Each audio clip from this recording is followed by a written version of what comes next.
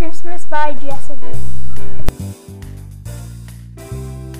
C is for candles.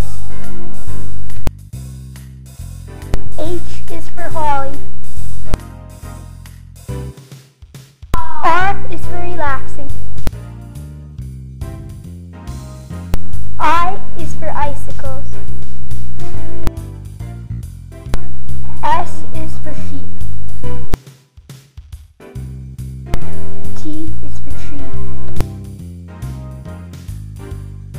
M is for manger. A is for angel.